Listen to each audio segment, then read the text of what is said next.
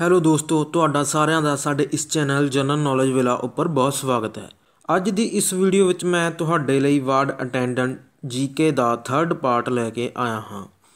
ਇਹ ਸਾਰਾ ਸਿਲੇਬਸ 8ਵੀਂ ਪੱਧਰ ਦੀ ਜਨਰਲ ਨੌਲੇਜ ਅਨੁਸਾਰ ਹੈ ਅਤੇ ਇਸ ਦਾ ਜੋ ਪਾਰਟ 1 ਅਤੇ ਸੈਕੰਡ ਪਾਰਟ ਹੈ, ਉਹ ਤੁਹਾਨੂੰ ਡਿਸਕ੍ਰਿਪਸ਼ਨ ਬਾਕਸ ਵਿੱਚ ਮਿਲ ਜਾਵੇਗਾ। ਤਾਂ ਦੋਸਤੋ, ਜੇਕਰ ਤੁਸੀਂ ਇਸ ਵੀਡੀਓ ਤੋਂ ਪੂਰਾ ਫਾਇਦਾ ਲੈਣਾ ਚਾਹੁੰਦੇ ਹੋ ਤਾਂ ਇਸ ਵੀਡੀਓ ਨੂੰ ਬਿਨਾਂ ਸਕਿਪ ਕੀਤਿਆਂ ਸ਼ੁਰੂ ਤੋਂ ਅੰਤ ਤੱਕ ਜ਼ਰੂਰ ਦੇਖਿਓ।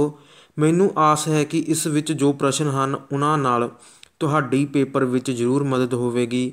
ਇਸ ਵੀਡੀਓ ਨੂੰ ਸ਼ੁਰੂ ਕਰਨ ਤੋਂ ਪਹਿਲਾਂ ਮੈਂ ਚਾਹੁੰਦਾ ਹਾਂ ਕਿ ਜੇਕਰ ਤੁਸੀਂ ਸਾਡੇ ਇਸ ਚੈਨਲ ਤੇ ਪਹਿਲੀ ਵਾਰ ਆਏ ਹੋ, ਤਾਂ ਪਲੀਜ਼ ਸਾਡੇ ਇਸ ਚੈਨਲ ਨੂੰ ਸਬਸਕ੍ਰਾਈਬ ਕਰੋ ਅਤੇ ਬੈਲ ਆਈਕਨ ਦਬੋ ਤਾਂ ਕਿ ਆਉਣ ਵਾਲੀਆਂ ਜੌਬਸ ਅਤੇ ਜੌਬਸ ਦੀ ਤਿਆਰੀ ਵਾਸਤੇ ਤੁਹਾਨੂੰ ਵੀਡੀਓਜ਼ ਸਭ ਤੋਂ ਪਹਿਲਾਂ ਮਿਲ ਸਕੇ। ਤਾਂ ਮੈਂ ਹੁਣ ਤੁਹਾਨੂੰ ਲੈ ਚੱਲਦਾ ਹਾਂ ਕੁਐਸਚਨਸ ਉੱਪਰ।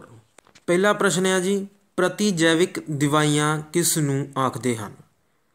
ਤਾਂ ਇਸ ਦਾ ਉੱਤਰ ਹੈ ਜੀ, ਜਿਹੜੀਆਂ ਦਵਾਈਆਂ ਬਿਮਾਰੀ ਦੇ ਕਾਰਨ ਬਣੇ ਸੂਖਮ ਜੀਵ ਨੂੰ ਜਾਂ ਤਾਂ ਮਾਰ ਦਿੰਦੀਆਂ ਹਨ ਜਾਂ ਫਿਰ ਉਹਨਾਂ ਦੀ ਵ੍ਰਿਧੀ ਨੂੰ ਰੋਕ ਦਿੰਦੀਆਂ ਹਨ ਇਹਨਾਂ ਦਵਾਈਆਂ ਨੂੰ ਪ੍ਰਤੀ ਜੈਵਿਕ ਦਵਾਈਆਂ ਆਖਦੇ ਹਨ।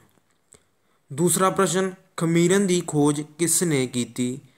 ਇਸ ਦਾ ਉੱਤਰ ਹੈ ਜੀ, ਖਮੀਰਨ ਦੀ ਖੋਜ ਲੂਇਸ ਪਾਸਚਰ ਨੇ ਸੰਨ ਅਠਾਰਾਂ ਸੌ ਸਤਵੰਜਾ ਈਸਵੀ ਵਿੱਚ ਕੀਤੀ। ਨੈਕਸਟ ਪ੍ਰਸ਼ਨ ਹੈ ਆਪਣੇ ਕੋਲ।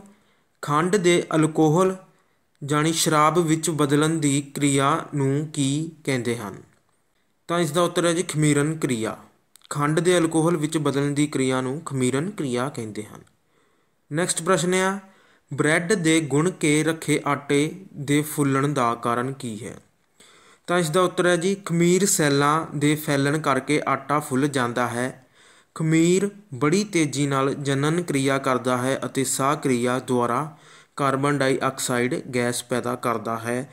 ਇਸ ਗੈਸ ਦੇ ਬੁਲਬੁਲੇ ਆਟੇ ਵਿੱਚ ਫੈਲ ਜਾਂਦੇ ਹਨ ਜਿਸ ਕਰਕੇ ਆਟੇ ਦਾ ਆਇਤਨ ਵੱਧ ਜਾਂਦਾ ਹੈ। ਅਗਲਾ ਪ੍ਰਸ਼ਨ, ਸੂਖਮ ਜੀਵ ਜੋ ਮਿੱਟੀ ਵਿੱਚੋਂ ਵਾਯੂਮੰਡਲ ਵਿਚਲੀ ਨਾਈਟ੍ਰੋਜਨ ਦਾ ਸਥਿਰੀਕਰਨ ਕਰਦੇ ਹਨ ਤਾਂ ਇਸ ਦਾ ਉੱਤਰ ਹੈ ਜੀ ਬੈਕਟੀਰੀਆ ਅਤੇ ਉੱਲੀਆਂ। ਅਗਲਾ ਪ੍ਰਸ਼ਨ, ਪ੍ਰਤੀ ਜੈਵਿਕ ਦਵਾਈਆਂ ਦੀ ਵਰਤੋਂ ਕਰਦੇ ਸਮੇਂ ਕਿੰਨਾ ਸਾਵਧਾਨੀਆਂ ਦੀ ਵਰਤੋਂ ਕਰਨੀ ਚਾਹੀਦੀ ਹੈ? ਤਾਂ ਇਸ ਦਾ ਉੱਤਰ ਹੈ ਜੀ, ਪ੍ਰਤੀ ਜੈਵਿਕ ਦਵਾਈਆਂ ਦੀ ਵਰਤੋਂ ਕਿਸੇ ਮਾਹਰ ਡਾਕਟਰ ਦੀ ਸਲਾਹ ਨਾਲ ਹੀ ਕਰਨੀ ਚਾਹੀਦੀ ਹੈ। ਦੂਸਰਾ ਪੁਆਇੰਟ ਹੈ ਜੀ, ਬਿਨਾਂ ਲੋੜ ਤੋਂ ਜਾਂ ਗਲਤ ਮਾਤਰਾ ਵਿੱਚ ਦਵਾਈ ਦਾ ਪ੍ਰਯੋਗ ਨਾ ਕਰੋ। ਅਗਲਾ ਪ੍ਰਸ਼ਨ ਹੈ ਜੀ, ਕੁਦਰਤੀ ਰੇਸ਼ੇ ਅਤੇ ਸਤਰੋਤ ਠੀਕ ਹੈ ਜੀ ਇਸ ਦਾ ਉੱਤਰ ਹੈ ਜੀ, ਕੁਦਰਤੀ ਰੇਸ਼ੇ ਕੁਦਰਤ ਵਿੱਚੋਂ ਪਾਏ ਜਾਂਦੇ ਹਨ। ਜਿਵੇਂ ਕਪਾਹ ਉੱਨ, ਰੇਸ਼ਮ ਆਦਿ ਪੌਦਿਆਂ ਜਾਂ ਜੰਤੂਆਂ ਤੋਂ ਪ੍ਰਾਪਤ ਹੁੰਦੇ ਹਨ। ਨੈਕਸਟ ਪ੍ਰਸ਼ਨ ਹੈ ਜੀ, ਬਨੌਟੀ ਜਾਂ ਸੰਸ਼ਲਿਸ਼ਤ ਰੇਸ਼ੇ ਕੀ ਹੁੰਦੇ ਹਨ? ਤਾਂ ਇਸ ਦਾ ਉੱਤਰ ਹੈ ਜੀ, ਜਿਹੜੇ ਰੇਸ਼ੇ ਮਨੁੱਖ ਦੁਆਰਾ ਬਣਾਏ ਜਾਂਦੇ ਹਨ, ਉਹਨਾਂ ਨੂੰ ਬਨੌਟੀ ਜਾਂ ਸੰਸ਼ਲਿਸ਼ਤ ਰੇਸ਼ੇ ਜਾਂ ਫਿਰ ਮਾਨਵ ਨਿਰਮਿਤ ਰੇਸ਼ੇ ਕਿਹਾ ਜਾਂਦਾ ਹੈ। ਨੈਕਸਟ ਪ੍ਰਸ਼ਨ ਹੈ ਜੀ, ਬਹੁਲਕ ਜਾਂ ਪਾਲੀਮਰ ਕਿਸ ਨੂੰ ਕਹਿੰਦੇ ਹਨ? ਉੱਤਰ ਹੈ ਜੀ, ਸੰਸ਼ਲਿਸ਼ਟ ਰੇਸ਼ੇ ਛੋਟੀਆਂ ਇਕਾਈਆਂ ਨੂੰ ਮਿਲਾ ਕੇ ਇੱਕ ਵੱਡੀ ਇਕਾਈ ਬਣਾਉਂਦੇ ਹਨ, ਜਿਸ ਨੂੰ ਬਹੁਲਕ ਜਾਂ ਪਾਲੀਮਰ ਕਹਿੰਦੇ ਹਨ। ਪਾਲੀਮਰ ਸ਼ਬਦ ਤੋਂ ਕੀ ਭਾਵ ਹੈ?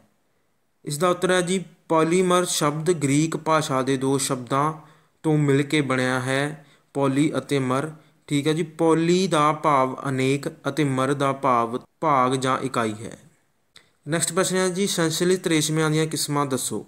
ਤਾਂ ਇਸ ਦਾ ਉੱਤਰ ਹੈ ਜੀ, ਰਿਆਨ, ਤੇ ਨਾਈਲੋਨ, ਤੇ ਤੀਸਰੇ ਨੰਬਰ ਤੇ ਹੈ ਜੀ, ਅਤੇ ਐਕ੍ਰੀਲਿਕ। ਅਗਲਾ ਪ੍ਰਸ਼ਨ ਹੈ ਜੀ, ਰਿਆਨ ਰੇਸ਼ੇ ਕਿੱਥੋਂ ਪ੍ਰਾਪਤ ਕੀਤੇ ਜਾਂਦੇ ਹਨ?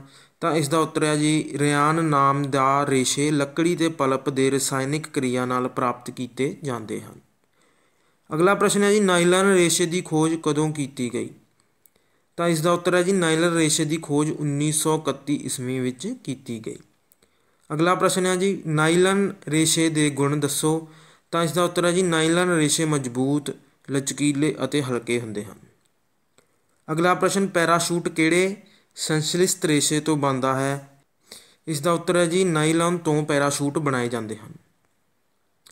ਨੈਕਸਟ ਪ੍ਰਸ਼ਨ ਹੈ ਜੀ ਥਰਮੋਸੈਟਿੰਗ ਪਲਾਸਟਿਕ ਕੀ ਹੁੰਦੀ ਹੈ?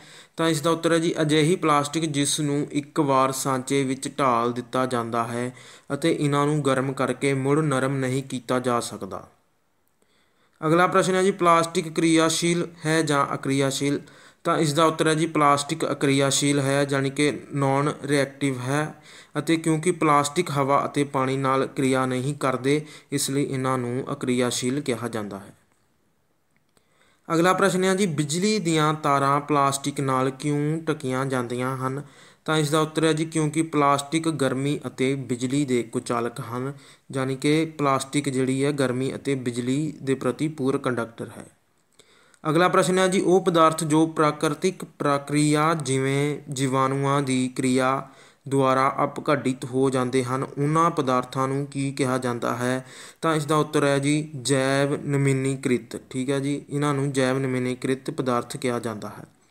ਅਗਲਾ ਪ੍ਰਸ਼ਨ ਹੈ ਜੀ, ਉਹ ਪਦਾਰਥ ਜੋ ਪ੍ਰਾਕ੍ਰਿਤਿਕ ਕਿਰਿਆਵਾਂ ਦੁਆਰਾ ਆਸਾਨੀ ਨਾਲ ਅਪਘਟਿਤ ਨਹੀਂ ਹੁੰਦੇ, ਜੈਵ ਅਨਿਮੀਨੀਕ੍ਰਿਤ ਕਿਹਾ ਜਾਂਦਾ ਹੈ। ਨੈਕਸਟ ਪ੍ਰਸ਼ਨ ਕੁੱਟਣਸ਼ੀਲਤਾ ਕੀ ਹੁੰਦੀ ਹੈ? ਤਾਂ ਇਸ ਦਾ ਉੱਤਰ ਹੈ ਜੀ, ਧਾਤਾਂ ਦਾ ਗੁਣ ਜਿਸ ਦੇ ਕਾਰਨ ਉਹਨਾਂ ਨੂੰ ਕੁੱਟ ਕੇ ਸ਼ੀਟ ਚਾਦਰ ਵਿੱਚ ਪਰਿਵਰਤਿਤ ਕੀਤਾ ਜਾ ਸਕਦਾ ਹੈ। ਕੁੱਟਣਸ਼ੀਲਤਾ ਕਿਹਾ ਜਾਂਦਾ ਹੈ। ਅਗਲਾ ਪ੍ਰਸ਼ਨ ਹੈ ਜੀ ਖਿਚਣਸ਼ੀਲਤਾ ਕੀ ਹੁੰਦਾ ਹੈ? ਤਾਂ ਇਸ ਦਾ ਉੱਤਰ ਹੈ ਜੀ, ਧਾਤਾਂ ਦੇ ਉਹ ਗੁਣ ਜਿਸ ਨਾਲ ਉਹਨਾਂ ਨੂੰ ਖਿੱਚ ਕੇ ਤਾਰਾਂ ਵਿੱਚ ਪਰਿਵਰਤਿਤ ਕੀਤਾ ਜਾ ਸਕਦਾ ਹੈ ਖਿਚਣਸ਼ੀਲਤਾ ਅਖਵਾਉਂਦਾ ਹੈ। ਨੈਕਸਟ ਪ੍ਰਸ਼ਨ ਹੈ ਜੀ, ਕਿਹੜੀਆਂ ਦੋ ਧਾਤਾਂ ਨੂੰ ਚਾਕੂ ਨਾਲ ਕੱਟਿਆ ਜਾ ਸਕਦਾ ਹੈ? ਤਾਂ ਇਸ ਦਾ ਉੱਤਰ ਹੈ ਜੀ, ਸੋਡੀਅਮ ਅਤੇ ਪੋਟਾਸ਼ੀਅਮ ਨੂੰ ਚਾਕੂ ਨਾਲ ਕੱਟਿਆ ਜਾ ਸਕਦਾ ਹੈ। ਅਗਲਾ ਪ੍ਰਸ਼ਨ ਹੈ ਜੀ, ਕਿਹੜੀ ਧਾਤ ਕਮਰੇ ਦੇ ਤਾਪਮਾਨ ਤੇ ਦਰਵ ਅਵਸਥਾ ਵਿੱਚ ਮਿਲਦੀ ਹੈ? ਤਾਂ ਇਸ ਦਾ ਉੱਤਰ ਹੈ ਜੀ, ਮਰਕਰੀ ਅਤੇ ਪਾਰਾ। ਨੈਕਸਟ ਪ੍ਰਸ਼ਨ ਹੈ ਜੀ, ਸਲਫਰ ਅਤੇ ਆਕਸੀਜਨ ਦੀ ਪ੍ਰਤੀਕਿਰਿਆ ਨਾਲ ਕਿਹੜੀ ਗੈਸ ਬਣਦੀ ਹੈ? ਤਾਂ ਇਸ ਦਾ ਉੱਤਰ ਹੈ ਜੀ, ਸਲਫਰ ਡਾਈਆਕਸਾਈਡ। ਨਾ ਸਮਾਪਤ ਹੋਣ ਵਾਲੇ ਕੁਦਰਤੀ ਸਾਧਨ, ਸੂਰਜ ਦਾ ਪ੍ਰਕਾਸ਼ ਅਤੇ ਹਵਾ। ਸਮਾਪਤ ਹੋਣ ਵਾਲੇ ਕੁਦਰਤੀ ਸਾਧਨ, ਜੰਗਲ, ਜੰਗਲੀ ਜੀਵ, ਖਣਿਜ, ਕੋਲਾ, ਪੈਟਰੋਲੀਅਮ, ਪ੍ਰਾਕ੍ਰਿਤਿਕ ਗੈਸ ਆਦਿ। ਨੈਕਸਟ ਪ੍ਰਸ਼ਨ ਹੈ ਜੀ, ਮ੍ਰਿਤ ਬਨਸਪਤੀ ਦੇ ਹੌਲੀ-ਹੌਲੀ ਕੋਲੇ ਵਿੱਚ ਬਦਲਣ ਦੀ ਪ੍ਰਕਿਰਿਆ ਨੂੰ ਕੀ ਕਹਿੰਦੇ ਹਨ? ਤਾਂ ਇਸ ਦਾ ਉੱਤਰ ਹੈ ਜੀ, ਕਾਰਬਨੀਕਰਨ। ਨੈਕਸਟ ਪ੍ਰਸ਼ਨ ਹੈ ਜੀ, ਤੇਲ ਦਾ ਪਹਿਲਾ ਖੂਹ ਕਿੱਥੇ ਖੋਜਿਆ ਗਿਆ? ਤਾਂ ਇਸ ਦਾ ਉੱਤਰ ਹੈ ਜੀ, ਤੇਲ ਦਾ ਪਹਿਲਾ ਖੂਹ ਪੈਨਸਿਲਵੇਨੀਆ, ਅਮਰੀਕਾ ਵਿੱਚ 1859 ਈਸਵੀ ਵਿੱਚ ਖੋਜਿਆ ਗਿਆ। ਨੈਕਸਟ ਪ੍ਰਸ਼ਨ ਹੈ ਜੀ, ਪ੍ਰੋਟੋਲੀਅਮ ਅਤੇ ਪ੍ਰਾਕ੍ਰਿਤਿਕ ਗੈਸ ਤੋਂ ਬਣੇ ਪਦਾਰਥਾਂ ਨੂੰ ਕੀ ਕਹਿੰਦੇ ਹਨ? ਤਾਂ ਇਸ ਦਾ ਉੱਤਰ ਹੈ ਜੀ ਪੈਟਰੋ ਰਸਾਇਣ ਨੈਕਸਟ ਪ੍ਰਸ਼ਨ ਹੈ ਜੀ ਜਾਲਣ ਕੀ ਹੁੰਦਾ ਹੈ? ਰਸਾਇਣਿਕ ਕਿਰਿਆ ਵਿੱਚ ਜਿਸ ਵਿੱਚ ਪਦਾਰਥ ਆਕਸੀਜਨ ਨਾਲ ਪ੍ਰਤੀਕਿਰਿਆ ਕਰਕੇ ਗਰਮੀ ਦਿੰਦਾ ਹੈ ਜਾਲਣ ਅਖਵਾਉਂਦਾ ਹੈ।